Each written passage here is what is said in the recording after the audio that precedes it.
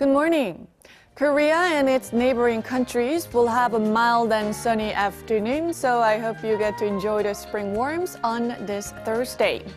And as for the daily highs, Seoul and Chuncheon will get up to 18 degrees Celsius. Daegu and Gyeongju will get up to 22 degrees. But fine dust levels in the capital area and Chungcheongdo provinces could get relatively high during the morning. But as we head into the afternoon, the air should improve.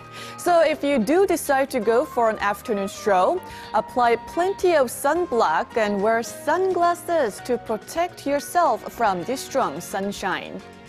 Now, it's forecast to be cool and rainy nationwide on Saturday, and there should be a drop in temperatures again this weekend, so plan accordingly for your weekend. With that, let's take a look at the international weather for viewers around the world. So most of South Korea will have bright skies with spring warmth today. Most parts of North Korea will be under mostly sunny skies, but the highs will be lower than the south. And as for the rest of Asia, Manila will be under partly cloudy skies to mostly sunny skies at a high of 34 degrees.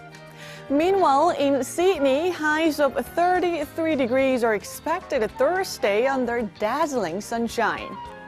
And heading to North America, Vancouver and Montreal will have rain for the rest of the week and into the weekend, while Montreal is likely to hit by an ice storm this weekend.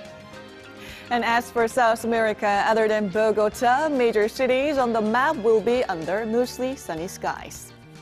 Taking you to Europe, London is set to be hotter than Portugal this weekend, but Londoners should also brace for some thunderstorms. Lastly, to Africa, most major cities will be under mainly sunny skies. And that's all the weather update for now.